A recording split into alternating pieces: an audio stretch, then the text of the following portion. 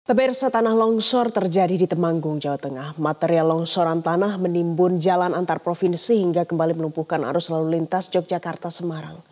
Longsor dari tebing setinggi 50 meter di pinggir jalan raya Yogyakarta-Semarang ini kembali terjadi kesekian kalinya.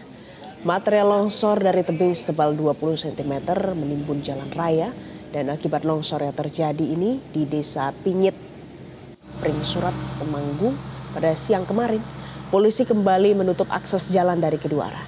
Selain karena jalan licin untuk dilalui, kondisi hujan juga dikhawatirkan akan mengakibatkan terjadinya longsor susulan. Petugas gabungan membersihkan material tanah dengan batuan dan juga bantuan alat berat digunakan.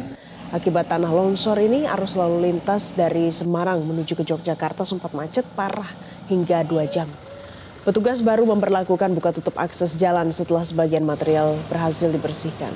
Namun jika hujan deras kembali terjadi, jalan di lokasi tersebut akan kembali ditutup dan dialihkan melalui jalur lainnya. Hingga sore kemarin, petugas dan sejumlah relawan masih terus membersihkan material longsoran tanah ini.